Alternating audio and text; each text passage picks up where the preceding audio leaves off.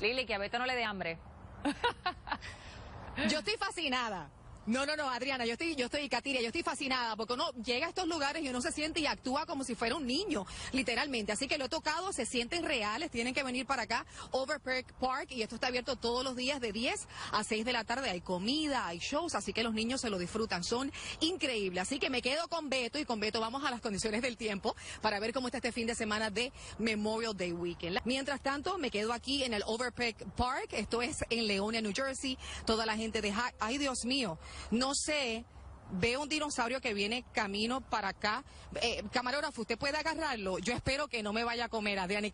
Miren eso, impresionante. Dos, de verdad, hacen ruido, se movilizan. ¡Ay, Dios mío! No, no, no, no, no. Que no venga para acá, que no venga. ¡Ay, señor!